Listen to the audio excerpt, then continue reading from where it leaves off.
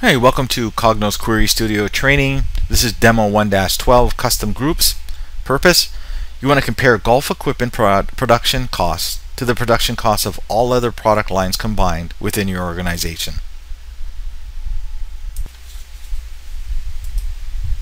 Okay, let's go ahead and let's go to products and add product line. Then let's go ahead and expand sales then let's add product cost. Then select product line from the edit data menu. Click define custom groups. Okay, let's go ahead and let's enter golf equipment in the new group name box. And click add custom groups